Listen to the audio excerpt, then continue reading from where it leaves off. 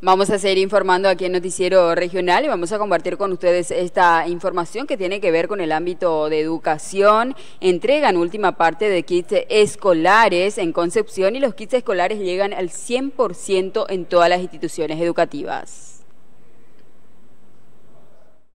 En realidad que ya cerramos completito el departamento de Concepción, es más, a nivel país ya se está haciendo eso, entonces nosotros queríamos hacer una entrega simbólica hoy, entonces en donde íbamos a publicar todo lo que estábamos haciendo, y bueno, no pudo ser por la inclemencia del tiempo y, esto ya, ya se cierra, ya no hay otra fecha, no hay otro momento, y agradecemos a los supervisores, a los directores, a los padres de familia que nos acompañaron, eh, porque las recepciones se hicieron fin de semana, sábado y domingo, no hubo descanso, eh, gracias a ellos se pudo llegar a la meta de cubrir todas las instituciones del departamento. Desde hoy se abren las instituciones educativas, la parte administrativa, desde hoy ya todo, todos los, eh, la parte administrativa, como digo, ya están en las instituciones. Nosotros como Ministerio de Educación em, eh, autorizamos, le dijimos a la gente acá, eh, porque ustedes saben que los encargados son la gente acá de, de la gobernación en este caso y nuestros municipios, ¿verdad? En los distritos. Como MEC nosotros dimos el ok para, para todos los alumnos, para todos los que están matriculados, para todos los chicos que están, que sacamos esa cantidad de, de RUE. Lo que está ahí es lo que corresponde. Bueno, ahora nosotros estamos tropezando y es de público conocimiento que hay un recorte y entonces eso repercute, eh, repercute en, el servicio y eh, yo creo que la, comunidad, la gente va a... Eh, están cuestionando, están cuestionando, pero nosotros como ministerio dimos la autorización de que para todos tiene que ser. Ahora, eso no depende de nosotros porque la plata, la parte monetaria lo maneja, el, y ustedes saben, la gobernación, ¿verdad? Entonces, ellos tienen su nómina también y lo que ellos nos van a dar es lo que eh, le derivan a los municipios para que puedan cubrir. La Junta Municipal de Concepción abrirá una secretaría para recepciones de facturas de SAP por las denuncias generalizadas por supuestas sobrefacturación. Hay una, hay una queja generalizada, se debatió bastante el tema hoy debido a, las supuestas sobrefacturaciones. Eh, eh, tenemos muchas quejas y es por ello que la Junta habilita un cuaderno de reclamo, ¿verdad? Entonces pedimos a toda la ciudadanía que hagan fotocopia a sus facturas correspondientes y que nos puedan acercar. Nosotros vamos a, vamos a hacer una carpeta de eso y vamos a entregar al, presidente de la ESA, porque resulta ser muy llamativo, ¿verdad? A dos meses del año nada más hay esta sobrefacturación. Eh, los meses de este, diciembre, enero, ¿verdad? Y no puede ser que durante dos meses del año haga o haya ¿verdad? fuga en el hogar, ¿verdad? Entonces para nosotros es muy llamativo y debido a estas quejas invulnerables vamos a, elevar la carpeta de la gente ¿verdad? al presidente de la ESA para que pueda tomar carta en el asunto. Hay también denuncia de que se cobra por servicio de, red cloacal y que no se tiene ese servicio en gran parte de la ciudad. Así mismo, eh, hay, una, hay, hay un cobro de eso también, ¿verdad?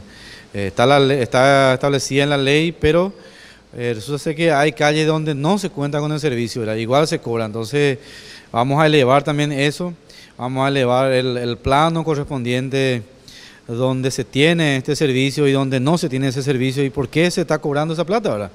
Eh, queremos trabajar con la ESAT. Yo creo que hay apertura de parte del Ejecutivo, hay apertura de parte nuestra y yo creo que dialogando podemos hacer, pero en este tema de la sobrefacturación yo creo que no hay otra cosa que poner la carta en el asunto y poder dialogar fuertemente con el presidente y si tenemos que manifestarnos eh, frente a la ESAT, pues hagamos porque es la única forma de que nos escuchan. La Federación Concepcionera de Fútbol de Salón viajará esta noche rumbo a Alto Paraná para el Campeonato Nacional de Futsal. El presidente de la federación se mostró bastante contento por el acompañamiento de la ciudadanía. Esta noche la, delegación parte a las 10 de la noche de enfrente al Monumento a María. Antes de eso vamos a tener una misa a las 7 de la tarde en el Salesiano. Y mira, desde hace varios días que venimos preparando todo lo que implica el tema del viaje, el tema de la parte organizativa para que nuestros atletas se vayan y puedan estar cómodamente allá esperando la hora del partido. El primer rival, bueno, en la primera fecha nuestra selección va a descansar, el día miércoles no jugamos, al día siguiente jugamos con Benjamín Acebal una pequeña ventaja que tenemos es que vamos a poder ver a Benjamín Acebal jugar con el local paranaense en la primera fecha. Eh, se analizó con el cuerpo técnico todo lo que implica la, selección de Benjamín en base a los nombres que tiene la selección y, por supuesto eh, es un campeonato diferente. Ya las selecciones, los equipos eh, juegan con otro ritmo, con, otro, con otra sensación, con otro temple, entonces es un, campeonato mucho más difícil que jugar una eliminatoria, ¿verdad? Entonces yo creo que cada selección tiene que estar preparada anímicamente, físicamente y mentalmente para poder ir avanzando en esa etapa. Ayer nosotros eh, enviamos un representante para el sorteo, eh, un amigo que tenemos en Ciudad del Este y nos comentó de que eh, se habló muy bien de nuestra selección. Entre las 20 delegaciones tenemos el orgullo de decir que somos la única federación que contamos con atletas 100% de la casa, cuerpo técnico de la casa. Ese fue nuestro objetivo desde el principio y yo creo que los resultados están a la vista. En principio parecía un poco difícil formar ese grupo, pero eh, nosotros confiábamos de que acá en la casa tenemos todo lo que necesitamos y trabajamos en base a eso. ¿verdad? Hoy el día está el resultado y creo que por el simple hecho de eh, ser una tricampeona a nivel nacional, eh, tenemos el respeto de las demás federaciones y tenemos que estar a la altura de lo que implica estar adentro de la federación y para los atletas vestir la su lado. En cuanto al presupuesto, ¿cómo está, presidente? Mira, nosotros eh, tenemos el orgullo de poder decir de que por primera vez después de mucho tiempo la federación se autofinanció en todo lo que implicó las eliminatorias.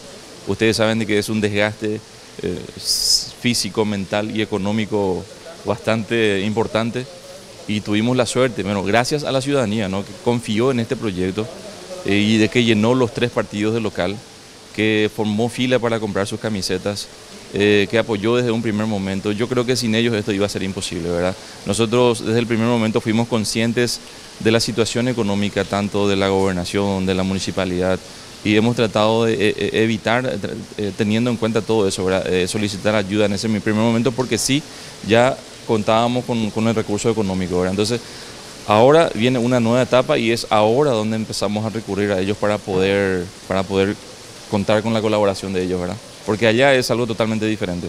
Hasta el día de hoy la federación se autofinanció, estamos al día con los atletas y estamos muy contentos por el trabajo realizado hasta ahora.